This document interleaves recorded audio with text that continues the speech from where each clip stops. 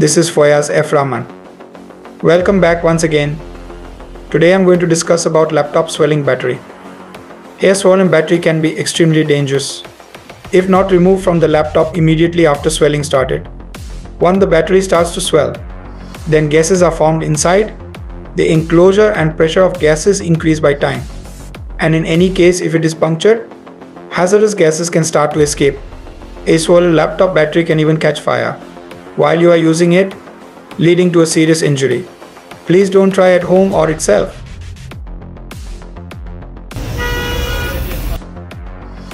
Please don't try at home or itself. If you are certified, then always you maintain the safety guideline.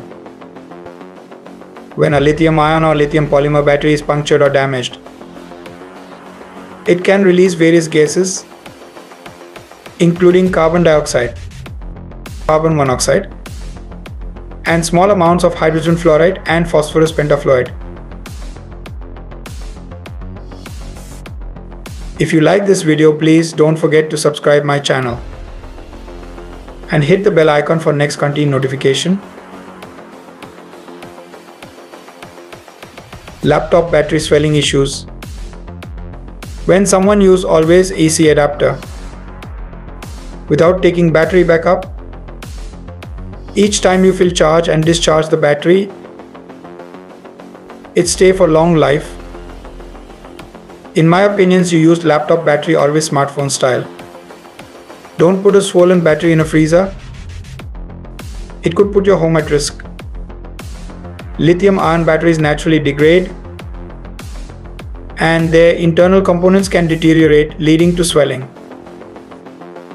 Please don't try at home or itself.